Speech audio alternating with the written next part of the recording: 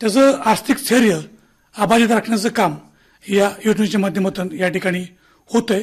आणि सगळ्यात महत्वाचं याचा जो पतपुरवठा आहे ह्याच्यामध्ये आपण सातत्य राखतोय. ज्यावेळेपासून ही योजना सुरू झाली त्यावेळेपासून माननीय जिल्हाधिकारी प्रत्येक बँकेचा आढावा घेत असतात की शेतकऱ्याला कर्ज वाटप किती झालंय त्यांना टार्गेट किती दिलं होतं आणि अचिव्हमेंट किती झालेलं आहे. आणि ज्या बँकेचं टार्गेट कमी आहे अचिव्हमेंट कमी आहे त्यांना जिल्हा स्तरावरून किंवा राज्य स्तरावरून त्या ठिकाणी नोटीस दिली जाते. छान. मग ती योजनेची वैशिष्ट्य काय काय आहेत? वैशिष्ट्यामध्ये सगळ्यात महत्वाचं ही योजना कर्जदार आणि बिगर कर्जदार या दोन्ही शेतकऱ्यांसाठी ऐच्छिक स्वरूपाची आहे. बर. सुरुवातीला ही योजना कर्जदार शेतकऱ्यांना सक्तीची होती. परंतु दोन वर्षानंतर शेतकऱ्यांनी सांगितलं की आम्हाला ही ऐच्छिक असावी. त्यामुळे दोन हजार अठरा पासून ही योजना शेतकऱ्यांसाठी ऐच्छिक. म्हणजे स्वतःहून ज्याला योजनेत सहभागी व्हायचंय बरोबर. तो या योजनेमध्ये सहभागी होऊ शकतो. दुसरं सगळ्यात महत्वाचं वैशिष्ट्य जे आता खरीपपासून सुरू झालेलं आहे यापूर्वी कसं होतं जे विमा संरक्षित रक्कम आहे त्याच्या दोन टक्के जी रक्कम आहे तो शेतकरी विमा हप्ता भरत होता. बर. म्हणजे साधारण प्रत्येक पिकाला अडीचशे रुपयापासून ते पाच हजारपर्यंत हेक्टरी हप्ता तो भरत होता. परंतु या खरीपासून शेतकरी फक्त एक रुपया विमा हप्ता भरून योजनेमध्ये सहभागी होणार आहे. उर्वरित पैसे शेतकऱ्यांच्या वतीनं शासन विमा कंपनीला अदा करणार आहे. म्हणजे शेतकऱ्यांनी फक्त एकच रुपया भरायचा. आणि योजनेमध्ये सहभागी व्हायचंय हे या खरीपासून सुरू झालेलं आहे. तिसरं याचा जोखीम स्तर आहे तो सत्तर टक्के ठेवण्यात आलेला आहे. जो की यापूर्वी साठ टक्के होता. त्यामुळे शेतकऱ्यांचा याच्यामध्ये फायदा होणार आहे.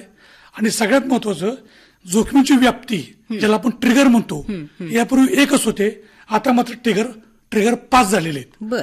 पाच प्रकारे शेतकऱ्यांना आपण नुकसान भरपाई या ठिकाणी. देऊ शकतो. बर.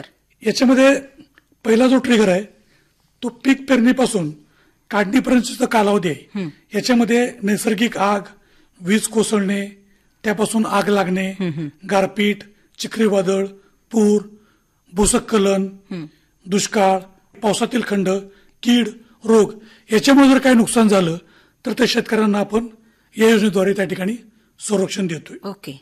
दुसरं या योजनेमध्ये शेतकरी पीक पेरणीपूर्व सहभागी होऊ शकतो. बर. अगोदरच. परंतु दुर्दैवानं काही परिस्थिती अशी निर्माण झाली की तो पीक पेरू शकला नाही. म्हणजे पाऊसच पडला नाही त्यामुळे तो पीक पेरू शकला नाही किंवा पाऊस जास्त पडला शेतामध्ये वापसा निर्माण झाला नाही तो विहित वेळेत पीक पेरणी करू शकला नाही. परंतु हप्ता त्याने अगोदरच भरलेला असेल तर अशा शेतकऱ्यांना पंचवीस टक्के रक्कम दे त्या ठिकाणी होते. पीक पेरलं नसताना सुद्धा. त्या ठिकाणी त्याला पंचवीस टक्के रक्कम देय होते. तिसरं हंगाम सुरू झालेला आहे आणि काहीतरी प्रतिकूल परिस्थिती त्या ठिकाणी निर्माण झाली चालू हंगामामध्ये. अशा वेळी सुद्धा त्या ठिकाणी पंचनामा होतो. शेतकऱ्यांनी बहात्तर तासाच्या आत विमा कंपनीला किंवा वित्तीय संस्थेला किंवा महसूल विभागाला किंवा कृषी विभागाला इंटिमेट करायचंय बहात्तर तासाच्या आत विमा कंपनी येते. त्या ठिकाणी पंचनामा करते. शेतकऱ्याला पंचवीस टक्के रक्कम तात्काळ देते. उर्वरित रक्कम हंगाम संपल्यानंतर त्यांना मिळते. बर. काही ठिकाणी पीक काढल्यानंतर शेतकरी लगेच मळत नाही. तो शेतामध्ये सुकवणीला ठेवतो. असंच चौदा दिवसापर्यंत तो ठेवू शकतो. आणि सुकवणीसाठी ठेवला असताना जर पाऊस किंवा गारपीट झाली त्याच्यामुळे नुकसान झालं.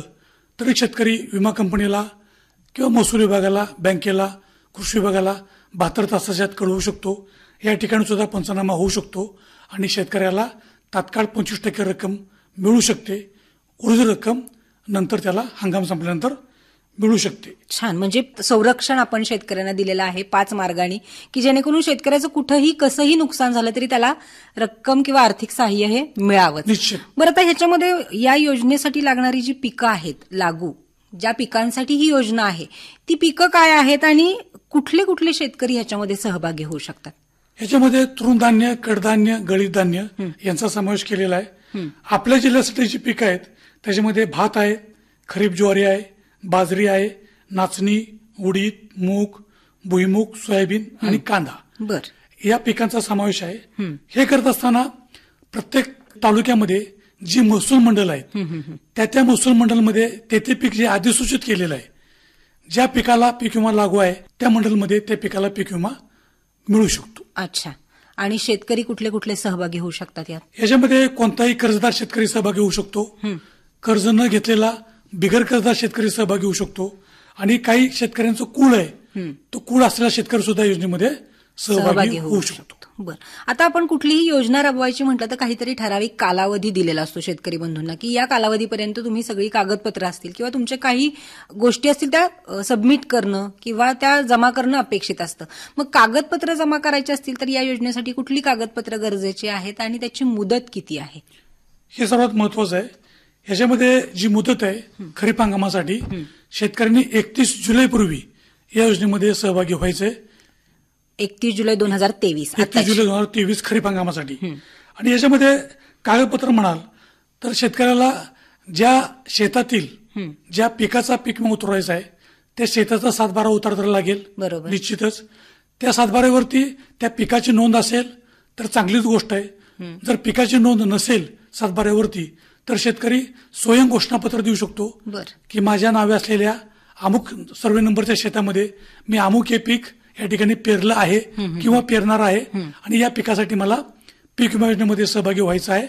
असा तो सातबारा बँकेमध्ये तो आपलं विमा हप्ता भरू शकतो किंवा विमा आपलं सरकार सेवा केंद्र आहे तिथेही भरू शकतो किंवा विमा कंपनीचं पोर्टल आहे. या पोर्टलवरती सुद्धा तो आपला हप्ता त्या ठिकाणी भरू शकतो. बँकेमध्ये जर हप्ता भरायचा असेल तर त्याला त्या ठिकाणी त्याचं फोटो असलेलं ओळखपत्र असणं गरजेचं आहे. म्हणजेच आधार कार्ड मतदान ओळखपत्र यापैकी कोणतंही एखादं फोटो ओळखपत्र त्या ठिकाणी लागेल.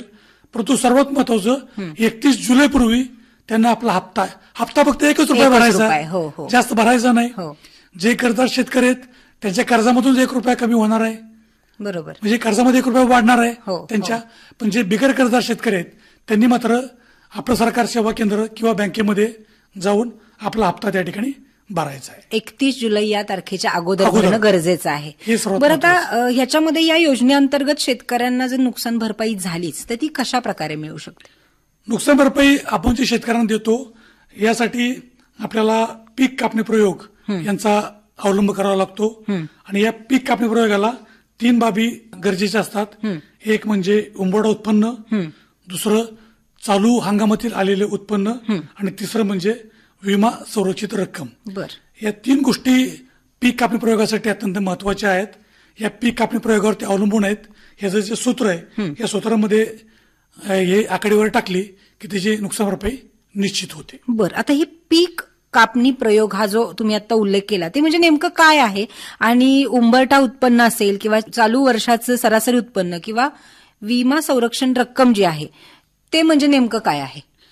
ह्याच्यामध्ये पीक कापणी प्रयोग म्हणजे राज्य शासनाचे प्रमुख तीन विभाग आहेत. त्याच्यामध्ये महसूल ग्रामविकास आणि कृषी हो. विभाग या तीन विभागाचे क्षेत्रीय कर्मचारी म्हणजेच तलाठी ग्रामसेवक आणि कृषी सहाय्यक यांच्यामार्फत प्रत्येक महसूल मंडळमध्ये प्रत्येक पिकाचे किमान बारा पीक कापणी प्रयोग आपण घेतो. म्हणजे त्या ठिकाणी पिकांची साधारण उत्पादकता किती येते हे आपण रॅन्डमली गावं निवडतो रॅन्डमली सर्वे नंबर निवडतो आणि त्याच्या माध्यमातून आपण पीक कापणी प्रयोग घेतो. आता उंबड उत्पन्न म्हणजे हे जे आपण पीक कापणी प्रयोग घेतोय तर त्या महसूल मंडळाचं त्या पिकाचं मागील सात वर्षामध्ये आलेली उत्पादकता. आपण घेतो. त्यातील सर्वोत्तम पाच वर्षाची उत्पादकता आहे त्याची सरासरी करतो. ती सरासरी म्हणजे चालू वर्षाचं उंबड उत्पन्न. ओके. चालू वर्षाचं जी उत्पादकता आहे चालू हंगामातली ते चालू वर्षाची आपण पीक कापणी प्रयोग घेतोय. त्याच्या माध्यमातून येते. आणि विमा सुरक्षित रक्कम जी आहे ही विमा सुरक्षित रक्कम म्हणजे विमा कंपनीने आपल्या जिल्ह्याची प्रत्येक पिकाची जी पीक कर्जदार आहे ती जी रक्कम आहे ती रक्कम म्हणजेच विमा सुरक्षित रक्कम. अच्छा. आता ही नुकसान जी भरपाई आहे ती नुकसान भरपाई कशा प्रकारे निश्चित केली जाते? आता याच्यामध्ये याचं एक सूत्र आहे नुकसान भरपाईचं उंबरठा उत्पन्न वजा या हंगामातील आलेले सरासरी उत्पन्न भागिले उंबड उत्पन्न गुणिले विमा सुरक्षित रक्कम. उंबड उत्पन्न जे मागील सात वर्षापैकी पाच वर्षाची सरासरी सर्वोत्तमची आहे ते उंबड उत्पन्न असेल ते आपल्याला मागील सात वर्षाच्या आकडेवरून मिळेल. चालू वर्षाची सरासरी चालू वर्ष आपण. पीक कापणी घेतोय त्यातून मिळेल. बरोबर. विमा सुरक्षित रक्कम ही विमा कंपनीनं ठरवलेली आहे आणि ही आकडेवारी या सूत्रामध्ये टाकली जाते आणि विमा रक्कम निश्चित केली निश्चित केली जाते. बर. आता ह्या ज्या विमा कंपन्या आपल्या शेतकऱ्यांशी जोडून दिलेल्या आहेत कृषी विभागानं त्यांच्या पण काहीतरी महत्त्वाच्या जबाबदाऱ्या ह्या असणार आहेत. मग ह्या ज्या विमा कंपन्या आहेत त्यांच्या जबाबदाऱ्या काय आहेत? विमा कंपनीचा रोल याच्यामध्ये अत्यंत महत्त्वाचा आहे. विमा कंपन्यांना याचं संपूर्ण सहनियंत्रण आणि नियोजन या ठिकाणी करायचं आहे विमा कंपनीनं स्वतःचं एक खातं पुणे स्थित ओपन करायचं आहे त्या ठिकाणी त्यांनी त्या ठिकाणी त्यांची अनामत रक्कम जमा करावायची आहे. पीक कापणी प्रयोगाची जी काही आकडेवारी आहे ती आकडेवारी राज्याच्या कृषी विभागाकडून त्यांनी त्या ठिकाणून घ्यायची आहे. भरपाईची रक्कम जी आहे ती शेतकऱ्यांपर्यंत पोहोचवण्याची जबाबदारी ही विमा कंपनीचीच आहे. यासाठी प्रशिक्षण आणि प्रचार प्रसिद्धी ही विमा कंपनीनंच त्या ठिकाणी करायची आहे. बर. आणि शासनाचे जे काही वेळोवेळी निर्देश सूचना असतील त्यांचं पालन त्यांनी या ठिकाणी करायचं आहे. बर. म्हणजे तेवढीच जबाबदारी ही विमा कंपनीची पण आहे. निश्चित. आता आपण शेतकरी बंधूंसाठी ही योजना आणतोय जितक्या कृषी विभाग शेतकऱ्यांसाठी खूप उत्साहानं काम करतोय विमा कंपन्या काम करतायत त्याच प्रकारे ज्याच्यासाठी आपण हे करतोय त्याच्या पण काहीतरी जबाबदाऱ्या ह्या आहेतच. मग त्या शेतकऱ्यांच्या जबाबदाऱ्या काय आहेत? शेतकऱ्याची जबाबदारी अत्यंत महत्वाची आहे. स्वतःला त्यानं योजनेमध्ये सहभागी घ्यायचं असेल तर ज्या बँकेमध्ये त्याचं खातं आहे मग ते राष्ट्रीयकृत असो अथवा जिल्हा मध्यवर्ती असो किंवा एखादी व्यावसायिक बँक असो जिथं त्याचं खातं आहे त्या ठिकाणी जाऊन किंवा आपलं सरकार सेवा केंद्र किंवा विमा कंपनीचं पोर्टल या ठिकाणी जाऊन फक्त नाममात्र एक रुपया त्यांना त्या ठिकाणी भरायचा आहे. प्रत्येक पिकासाठी आणि योजनेमध्ये सहभागी व्हायचंय.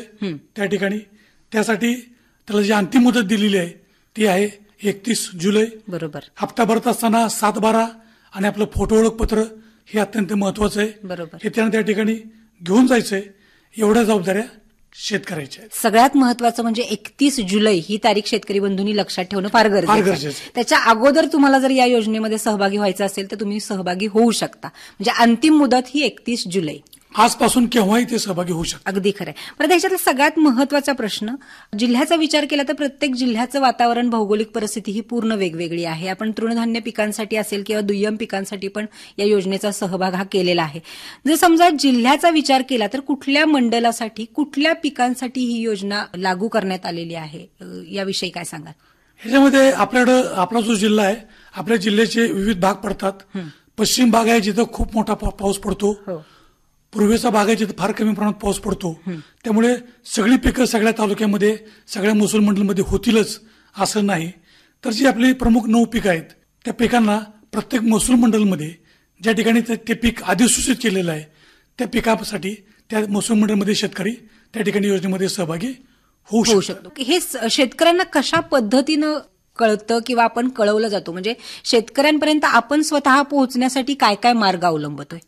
शेतकऱ्यांना पोहोचण्यासाठी कृषी विभाग आमचा सज्ज आहे. त्याचप्रमाणे विमा कंपनी आहे. विमा कंपनीची प्रचार प्रसिद्धी लवकरच या ठिकाणी सुरू होईल. पोस्टर्स बॅनर्स पम्पलेट किंवा विमा कंपनीचे रथ हे प्रत्येक गावोगावी या ठिकाणी फिरतील. योजनेची प्रचार प्रसिद्धी करतील. काही पथनाट्याच्या माध्यमातून सुद्धा आपण करतोय. काही जिंगल्स वगैरे आपण तयार करतोय. आपल्या माध्यमातून किंवा कृषी विभागाचे काही युट्यूब चॅनल्स आहेत. त्याच्या माध्यमातून सुद्धा आपण याची प्रचार प्रसिद्धी करतोय आणि शेतकऱ्यांपर्यंत त्या ठिकाणी पोहोचण्याचा प्रयत्न करतोय. अगदी खरंय अगदी खरंय. आणि मला वाटतं कृषी विभाग नेहमीच या बाबतीत सतर्क हा असतोच. याच्यामध्ये अजून सगळ्यात महत्त्वाचा या योजनेचा लाभ हा जिल्ह्यातील किती शेतकऱ्यांना झालाय आणि त्याचा फायदा हा शेतकऱ्यांनी घेतलाय? आतापर्यंत सुमारे खरीप हंगाम सोळाला योजना सुरू झाली. हो. आतापर्यंत पंचावन्न हजारपेक्षा जास्त शेतकऱ्यांना योजनेचा लाभ झालेला आहे. आणि सुमारे अकरा कोटी पंधरा लाख इतकी रक्कम आपण शेतकऱ्यांना या योजनेच्या माध्यमातून वितरित केलेली आहे. बर बर. आता ह्या योजनेचा कुठलीही योजना जसं आपण सांगितलं की आता आपण प्रचार आणि प्रसिद्धीच्या मार्गावर आहोत की जास्तीत जास्त शेतकऱ्यांना ही योजना कळावी त्यांच्यापर्यंत पोहोचावी आणि ज्यांना इच्छा आहे ते या योजनेमध्ये सहभागी होतील हे आपण आत्ताच सांगितलं. पण तरीही शेतकऱ्यांना जर संपर्क करायचा असेल या योजनेच्या संदर्भात माहिती घ्यायची असेल तर शेतकऱ्यांनी कुठं संपर्क करणं अपेक्षित आहे? किंवा ह्याचा जर विमा हप्ता जसं आपण सांगितलं की एक रुपया हा फक्त भरायचा आहे तरीही शेतकऱ्यांना थोडीशी ती भरणारी रक्कम आहे त्या रकमेविषयी काय सांगाल पुन्हा एकदा? जो कर्जदार शेतकरी आहे त्याच्या कर्जामधून एक रुपया बँक ऍडिशनल टाकून तो या योजनेमध्ये सहभागी होणार आहे. बरोबर. परंतु जो बिगर कर्जदार शेतकरी आहे त्याला जर योजनेमध्ये सहभागी व्हायचा असेल तर प्रत्येक गावामध्ये आमचा एक कृषी सहाय्यक आहे. त्यांची भेट घेऊन त्यांची संपर्क करून योजनेमध्ये सहभागी होऊ शकता येतं. मंडल पातळीवरती आमचं मंडल कृषी अधिकारी कार्यालय तालुका पातळीवरती तालुका कृषी अधिकारी कार्यालय विमा कंपनीचे प्रतिनिधी प्रत्येक तालुक्यामध्ये आपण नेमलेले आहेत. आपलं सरकार सेवा केंद्र आहे. बँका आहेत. यापैकी कुठेही संपर्क साधून शेतकरी योजनेमध्ये सहभागी होऊ शकतो. शेतकरी बंधूंनो ही योजना आहे त्याची शेवटची मुदतीची जी तारीख आहे ती आजपासून एकतीस जुलैपर्यंत आपण या योजनेचा लाभ घेणार आहोत. आणि आपल्या गाव क्षेत्रामध्ये जे कृषी अधिकारी कृषी सहाय्यक किंवा कृषी विभागातला कुठलाही व्यक्ती याबाबत तुम्हाला माहिती देऊ शकतो. जास्तीत जास्त प्रमाणात जर तुम्ही या योजनेमध्ये सहभागी झाला तर नक्कीच आता बदलत्या हंगामामध्ये जे आपलं नुकसान होतंय त्या नुकसान भरपाईसाठी म्हणून एक आर्थिक सहाय्य हे कृषी विभाग तुम्हाला करतंय. नक्कीच त्याचा फायदा घ्या. एक जाता जाता म्हणून शेतकऱ्यांना काय आवाहन कराल? सध्याची परिस्थिती जर आपण पाहिलं तर निसर्ग थोडासा मागे पुढे होतोय. हो. पाऊस जूनच्या शेवटी सुरू झालेला आहे. गेल्या दोन तीन वर्षाचं आपण चक्र जर पाहिलं तर अनेक प्रकारच्या नैसर्गिक आपत्ती प्रत्येक जिल्ह्यामध्ये आपल्या जिल्ह्यामध्ये पण येत आहेत. आणि याच्या माध्यमातून शेतकऱ्याच्या हातातोंडाशी आलेलं पीक हो. आधी शेवटच्या क्षणी पीक निघायचं वेळ असते आणि अचानक अवकाळी पाऊस त्या ठिकाणी येतो. आणि पिकाचं नुकसान हे या ठिकाणी होत असतं. ही एकमेव योजना शेतकऱ्यांसाठी अशी आहे की शेतकऱ्यांना आर्थिक सहाय्य देऊ शकते. आणि आता जर शेतकऱ्या शे- शासनानं शेतकऱ्यांसाठी अवघ्या एक रुपयामध्ये ही योजना आणलेली आहे. त्यामुळे शेतकरी बांधवांना माझी विनंती राहील की शासनाच्या योजनेचा लाभ सर्व पात्र शेतकऱ्यांनी घ्यावा आणि योजनेमध्ये सहभागी व्हावं. सहभागी होताना एकतीस जुलै ही अंतिम तारीख सर्वांनी लक्षात ठेवावी. एवढी विनंती मी जिल्ह्यातल्या सर्व शेतकऱ्यांना आपल्या माध्यमातून करू इच्छितो. खरंच तर मला वाटतं यावर्षी नक्की शेतकरी बंधू याचा फायदा घेतील कारण आत्ताचं जे बदलतं वातावरण आहे आणि पुढे गेलेला जो हंगाम आहे त्या हंगामावरूनच आपल्याला असं लक्षात येतं की भविष्यामध्ये पुढे काय नुकसान होईल याचा अंदाज हा कोणीच घेऊ शकत नाही. त्यामुळे या योजनेचा लाभ जर शेतकरी बंधूंनी घेतला तर नक्कीच त्यांना एक आर्थिक सहाय्य मिळू शकतं. नक्कीच आपले शेतकरी याच्यामध्ये सहभागी होतील अशी आपण आशा करूया. तुम्ही आज इथं आलात त्याबद्दल सातारा जिल्ह्यातील सर्व शेतकरी बंधू भगिनींच्या वतीनं आभार मानते. धन्यवाद. धन्यवाद.